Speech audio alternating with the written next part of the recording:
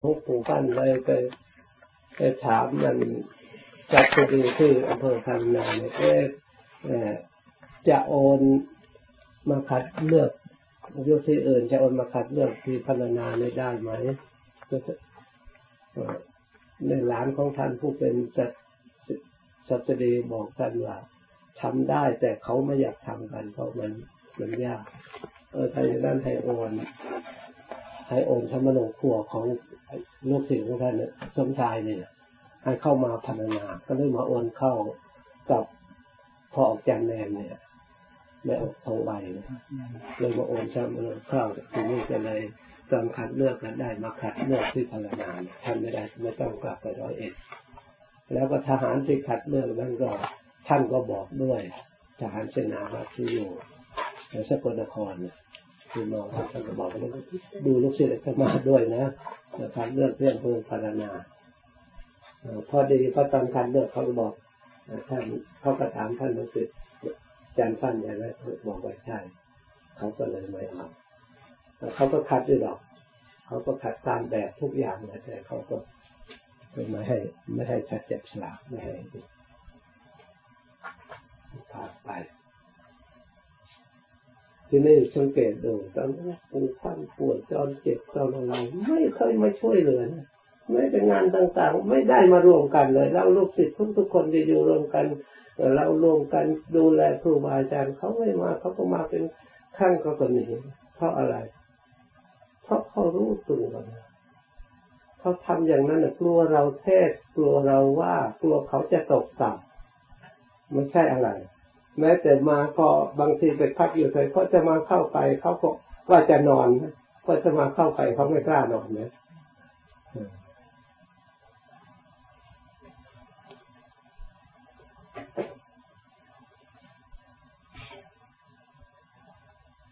เขาไม่กล้าพวกนั้นเข้าไปแวะยุติวัแต่เขาก็อยู่ไม่นาน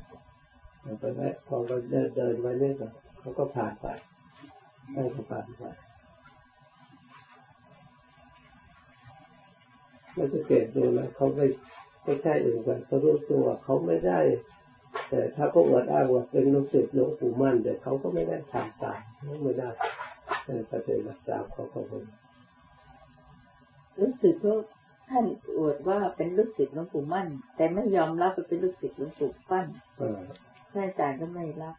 ก็มีอยู่ตอนหนึ่งที่ ยังเขียนอีกประวัติยังพิมพ์อีกเมื่อสองวันเราก็เห็น ยังพูดถึงในตอนหนีเสือนะคะ หรือบอกยังไงต้องอยู่เป็นเพื่อนท่านอาจารย์ฟั่นบอกท่านอาจารย์ฟั่นบอกว่า เอ๊ะจะผมครูบาผมไม่รู้จะทำยังไงเสือมา ก็ต้องอยู่เป็นเพื่อนท่านคือฟังดูชอบกล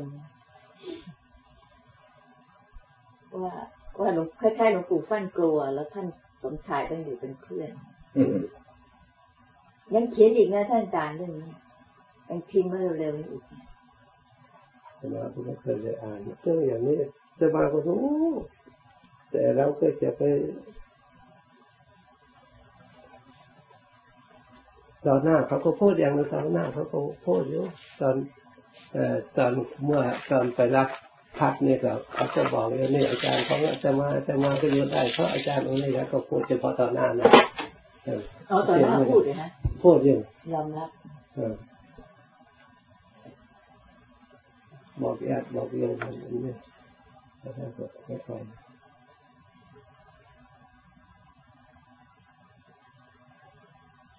แต่ไม่สนิทไปหาหลวงปู่ท่านก็ไม่สนิทท่านก็ไปคนไปกราบพอได้ได้ให้ญาติโยมเห็นว่าเป็นลูกศิษย์หลวงปู่ฟันนี่แหละตอนนั้นเขาก็ไปที่อื่นเลยแต่ก่อนเดี๋ยวนี้พอยังโตแต่ก่อนยิ่ง พอไปพักแล้วพอเห็นจะมาไปพักอยู่นั่นด้วยแล้วตอนนี้ไปพักที่อื่นเมื่อสุดเรื่องก็ไปทอดปฏิหนังสือหนังสือหมอสนองหมอนี่หลายคนอาจารย์สมชายที่ได้มาทอดที่นั้นด้วยพอได้ยินจะมาไป ไม่เข้ามานะก็ไปนอนที่อื่นพอทางนี้เสียแล้วจะออกไปไหนก็เข้ามา ที่หลัง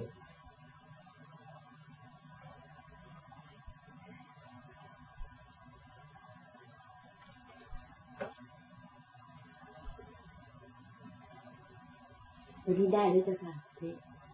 นี่ที่หลวงปู่มั่นเทศที่ท่านอาจารย์ค่ะฮะมันศีลอุ้ยเอาเทศได้อืมไม่ใช่ มีเทศแล้วใช่ค่ะที่ท่านอาจารย์จะเล่าว่าหลวงปู่มั่นเทศนะหลวงปู่มั่นเทศแต่ศีลเรื่องเหตุที่มาสินอุปริมาสินสินอย่างต่ำและสินอย่างสูง ท่านแสดงถึงว่าสินห้าเป็นเหตุที่มาสินคือสินอย่างต่ำส่วนสินแปดสินสิบสินสองร้อยยี่สิบเจ็ดเป็นสินอย่างสูงเพราะเป็นสินพรหมจรรย์สินแปดก็เป็นสินพรหมจรรย์ไม่อยู่เป็นคุณผู้อยู่คนเดียวเว้นกาบท่านว่าท่านพูดถึงเรื่องศีลท่านก็บรรยายไป เรื่องสมาธิสมาธิอย่างต่ำคือสมาธิที่ได้แก่สมาธิที่สงบเล็กๆน้อยๆสงบชั่วคราวแต่ขันธสมาธิแต่สมาธิของบุคคลผู้ยังไม่ถึง